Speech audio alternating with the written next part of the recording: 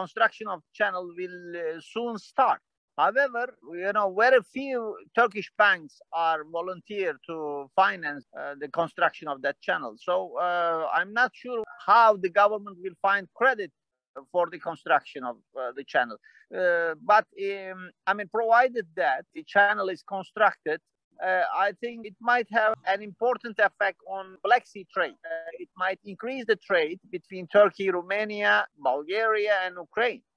And that might not be the trade of petroleum or natural gas. That will be a regular trade between uh, those countries. It's a matter of credit and the pandemic made everything uh, worse. The, the, Turkish economy is not so strong to build a channel like that at the moment at least and uh, there might be an outside financing and we'll see it soon we'll see it uh, because the government said that it will start uh, the construction from uh, June onward. There are rumors that people from the Gulf countries buy land uh, around the channel some rich Turkish contractors grab la- land from the sides of the channel, but there is no open, uh, I would say, procurement of the construction.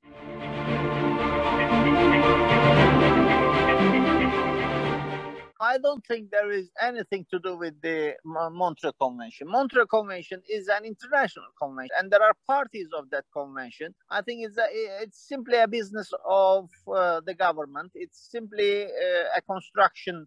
I would say construction business, and it's related with uh, with trade and uh, you know more communication with uh, between uh, Black Sea and the Mediterranean. It's quite an unfair convention in that respect. The Black Sea countries, especially Russia, uh, should uh, pay some attention to that question because the burden is over Turkey and Turkey is not grabbing uh, or uh, collecting any taxes, any, uh, let's say, payment fees, etc.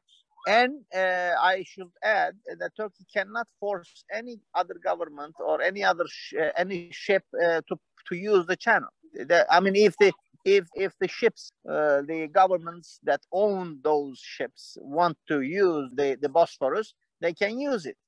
Turkey cannot refuse it, uh, at least on the basis of reasonable questions. The question of the convention, question of the straits, and matter of channel are completely different things. They ha- they have nothing to do with each other.